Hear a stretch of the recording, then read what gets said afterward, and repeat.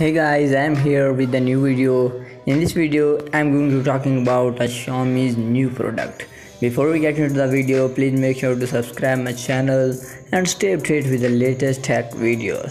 So as we know that the Xiaomi has launched a few different types of lamps in the company's home market, China. Now the company has launched yet another table lamp in the Chinese market named the Mi Table Lamp 1S. Light from the Mi Lamp 1S reaches 520 lm in terms of luminous flux. The product which comes with a metal body design and has a pure white color, we can be folded to reduce the occupied space. Its maximum angle of opening and closing is 135 degrees. The company claims to have done a fatigue test for more than 10,000 times, hinting about the durability of the lamp. The bulb is directly attached to the lamp arm which also has a heat sink and a thermal conductive glue.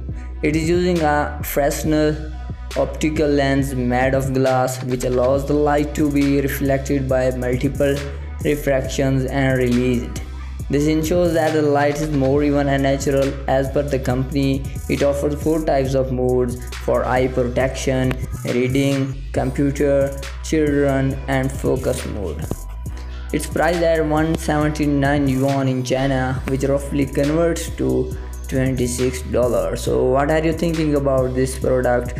Are you want to buy this product? Let me know your thoughts in the comment section below and also subscribe to my channel for the daily content like this. I will catch you guys in the next ones. Peace out.